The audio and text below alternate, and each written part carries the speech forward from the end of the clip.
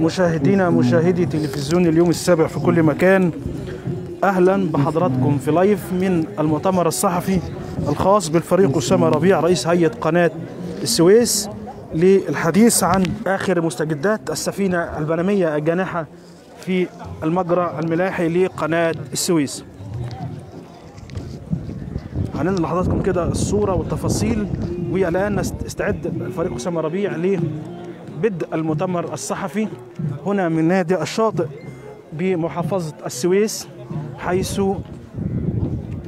يتواجد في المؤتمر الصحفي كل وسائل الإعلام الأجنبية والمصرية المحلية والعالمية.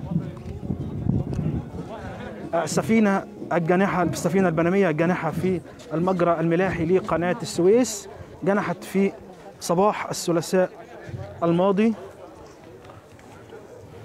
وما زالت تتواصل جهود هيئة قناة السويس لتعويم السفينة حيث تم تكريك عشرين ألف طن من الرمال من مقدمة السفينة ولحظات ويبدأ الفريق أسامة ربيع رئيس هيئة قناة السويس المؤتمر الصحفي العالمي من نادي الشاطئ للإعلان عن جهود هيئة قناة السويس في تعويم السفينة.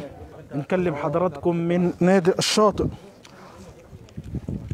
تابع لهيئة قناة السويس بحضور كل وسائل الإعلام المصرية المحلية والعالمية لنقل فعاليات المؤتمر الصحفي للفريق أسامة ربيع الذي سيبدأ بعد لحظات بدء المؤتمر بحضور قيادة الهيئة.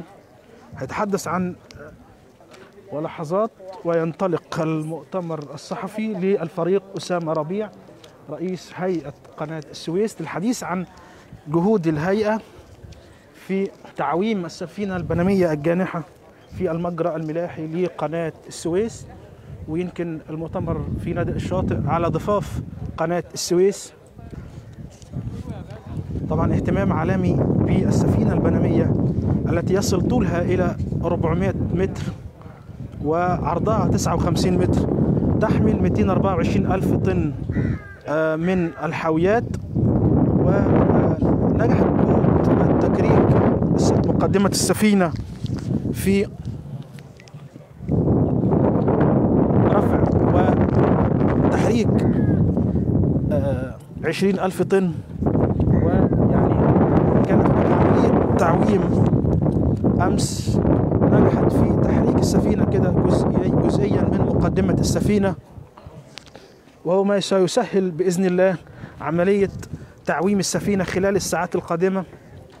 تفاصيل كتيرة جدا إن شاء الله هنعرفها من الفريق أسامة ربيع رئيس هيئة قناة السويس بعد قليل للحديث عن جهود الهيئة في تعويم السفينة. والفريق أسامة ربيع رئيس هيئة قناة السويس يعني أكد أن مناورات القطر للسفينة الجانحة من خلال تسع قاطرات عملاقة في مقدمتهم القاطرة بركة واحد والقاطرة عزة عادل.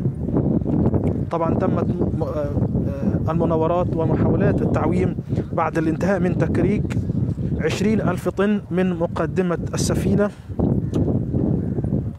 القاطرة بركة وهي إحدى القطرات التي تقوم بالمساعدة في تعويم السفينة الجانحة قوة بقوة شد 160 طن.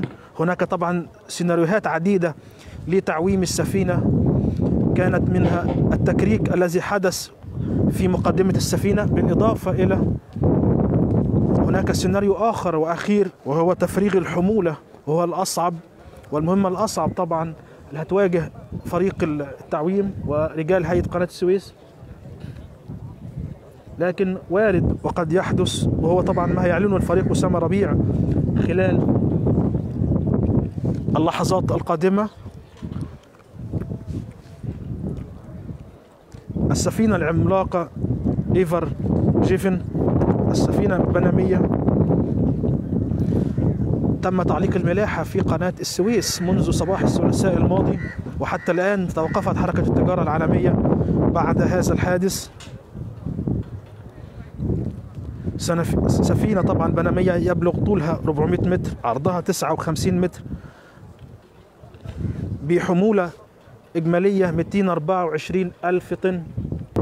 هقول لحضراتكم طبعا وعلى لسان الفريق أسامة ربيع إن مناورات القطر وتعويم السفينة تتطلب توافر عدة عوامل مساعدة أبرزها اتجاه الرياح والمد والجزر مما يجعلها عملية فنية معقدة لها تقديرات وإجراءات ومحاولات المتعددة وفقا لمواضع واختبارات الشد يمكن موضوع الشد والجزر المد والجزر ليه عوامل طبعا هامة وتساعد على مهمة تعويم السفينة الجانحة بالمجرى الملاحي لقناة السويس في النقطة 151 ترقيم القناة والقريبة كده من قرية عامر بمحافظة السويس. قرية عامر التابعة لحي الجناين بمحافظة السويس. لحظات طبعا ويبدأ الفريق أسامة ربيع رئيس هيئة قناة السويس المؤتمر الصحفي للإعلان عن تفاصيل جهود هيئة قناة السويس في تعويم السفينة الجانحة.